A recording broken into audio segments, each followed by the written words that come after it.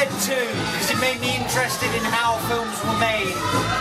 Uh, Lost Highway because that is exactly how I dream. And uh, American Werewolf in London because it got my sense of humour to a T. That do it for you? Oh, fantastic. Thank you. Uh, true romance. So it's the perfect combination of violence and romance, and it's all awesome.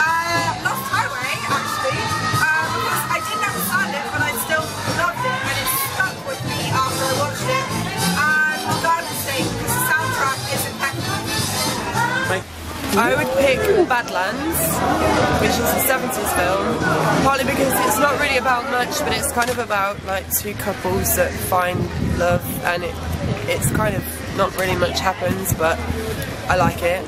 I'd pick Brief Encounters because I like black and white films, and you know, it, it's perfect. It's a perfect setting to meet somebody on a train. And then I pick um, Whatever Happened to Baby Jane because I think Bette Davis is freaking awesome and yeah, that'd be it. Thank you very much.